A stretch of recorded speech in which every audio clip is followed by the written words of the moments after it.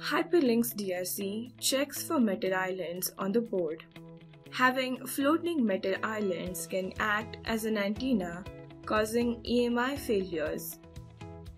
HyperLynx DRC checks for such issues and flags them as violations. Generally, this rule is run on the whole design, but it can be run on specific electrical nets if required. For demo purpose, I'm checking for metal islands for the entire design.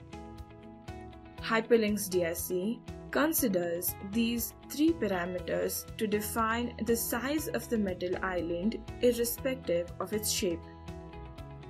Any metal shape that is not connected to a pin or via and exceeds the thresholds defined in here is considered a violation. Let's run the rule and take a look at the violations. Looks like the rule is flagging these as violations. These are pin pads and are purposely created. I will go ahead and mark this as ignored.